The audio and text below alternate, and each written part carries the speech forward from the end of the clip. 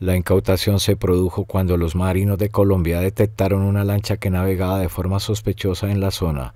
De inmediato, se activó una unidad de reacción rápida de la estación de guardacostas de Buenaventura que procedió a realizar la operación de interdicción marítima. Un total de 992 kilogramos de estupefacientes fueron incautados por unidades de la Armada de Colombia durante el desarrollo de operaciones de control y seguridad marítima integral, a bordo de una embarcación tripulada por tres sujetos de nacionalidad costarricense, cuando se movilizaban por aguas del Pacífico Centro.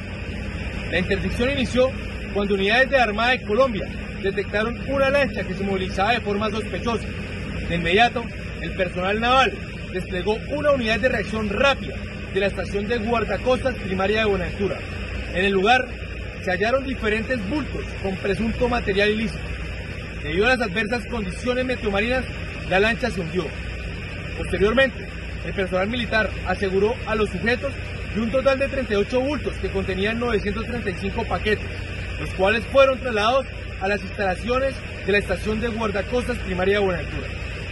En el lugar, el Cuerpo Técnico de Investigación Criminal de Judicial, CTI de la Fiscalía General de la Nación, realizaron la prueba de identificación preliminar homologada PIPH, la cual arrojó positivo para marihuana con un peso de 960 kilogramos y 32 kilogramos de clorhidrato de cocaína. Los tres individuos fueron puestos a disposición de la Fiscalía General de la Nación.